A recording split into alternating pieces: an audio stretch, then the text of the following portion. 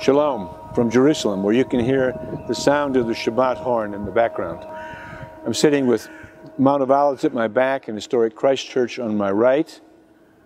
But before I do what I'm here to do, all of you at First Pres, thanks for taking care of us, for sending your gifts and praying for us over these three challenging years of, of COVID. It was then, three years ago, that I visited, visited you just before I came to Jerusalem. And for those of you I haven't met, my name is Daryl Fenton. I'm the director of CMJ, the church's ministry among Jewish people here in Israel. My job today is to introduce a new calling and opportunity that the Lord's opened up for us here in the Middle East. Isaiah wrote that Israel is, the, is to bless the nations around them. But to the nations, he wrote, worship together with Israel. That's always been our mission. And we've tried to obey those commands, seeking now and as and in the past to fulfill Ephesians, Ephesians 2:15, to be a place where the spiritual principle of one new man in Christ is lived out in our worship, in our work, and in our witness. Recently, we launched a digital discipleship community in Arabic. It's connecting us with the Arab-speaking people in Israel, the surrounding nations, and there are hundreds of millions of Arabic speakers around us here. Of course, we don't expect to reach them all through just this work. We partner with others in, in our community here, brothers and sisters who follow the Lord, sharing the gospel of peace and helping those in the Middle East who don't know Jesus to seek the God of peace. And we're planning to launch another digital discipleship program soon in Hebrew.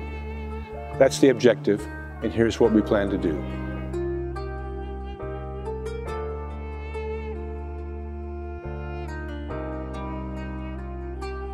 Psalms 3, a psalm of David when he fled from his son Absalom ابنه.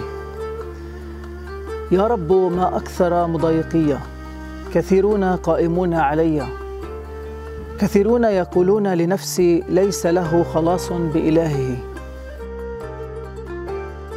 وهذه عظمة الإنجيل. بقول ليه؟ لأنه فيه معلن بر الله.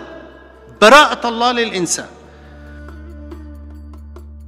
الله بده إنه إحنا نتصل معاه والاتصال هذا بيكون بواسطة يسوع المسيح اللي خلصنا وفدانا على الصليب.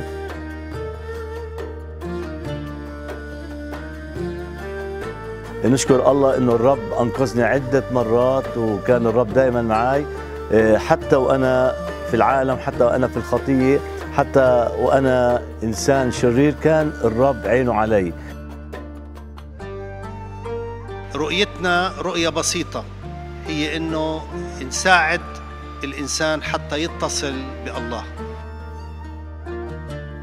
باسم يسوع اصلي امين انطلاقا من هذا المكان المقدس القدس It'd be a great blessing to us if you join us, interceding for us as we work, and especially interceding for those who, perhaps for the first time, will be introduced to the God of peace who sent his son Jesus to reconcile the world to himself.